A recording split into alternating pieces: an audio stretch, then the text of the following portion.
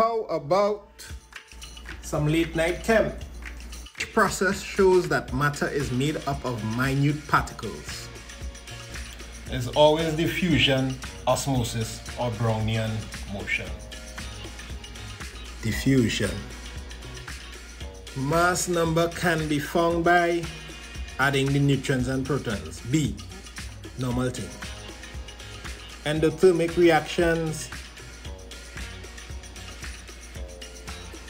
absorb energy from environment.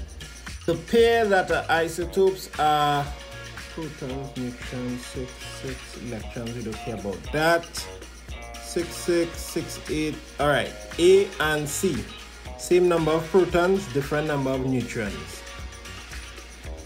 C is the answer.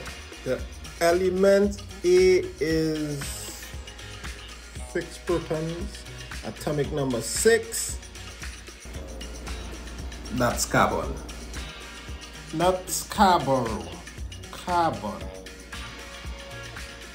Which of the elements below is a cation? Let's see if we can find an equal number of protons and electrons. This one. What's this? Oh, that's the mouse. B. 12 protons, 10 electrons. This thing is positively charged. And last but not least, observe the statements below. Atoms are neutral, but ions are charged. That's good.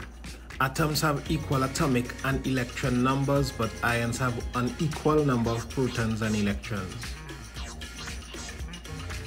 That's good. Ions have more electrons than protons. What? Not all the time. One and two. Which of the above? One and two are looking like B to me. We done. Love and blessings.